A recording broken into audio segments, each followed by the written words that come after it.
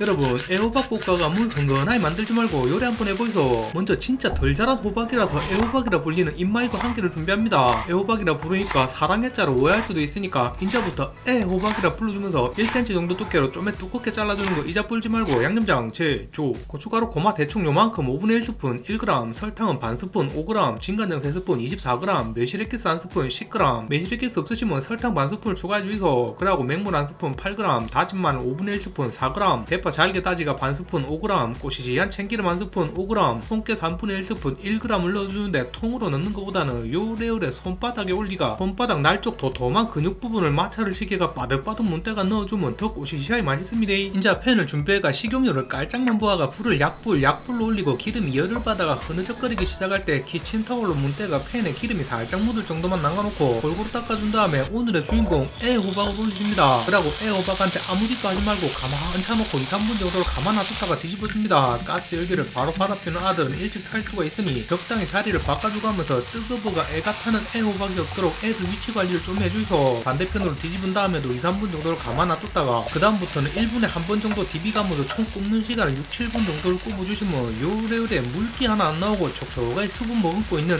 애호박이 완성됩니다. 애호박인데 정작 얼라들은 좋아하지 않는 비주얼 가진 애호박을 접시에 대충대충 담아주시고 양념을 끼얹혀줍니다. 저처럼 뭐 굳이 숟가락으로 할 필요 없이 그냥 다 들이부으면 됩니다. 양념장 다 들이부은 다음에는 요래가 바로 드셔도 되지만 10분 딱 10분만 기다려주시면 애호박에 양념이 배기 들어가가 양념이 겉돌지 않게 드실 수가 있습니다. 애호박을 좋아하시면 꼭 해보시는 걸 추천드리면서 시청해주셔서 감사합니다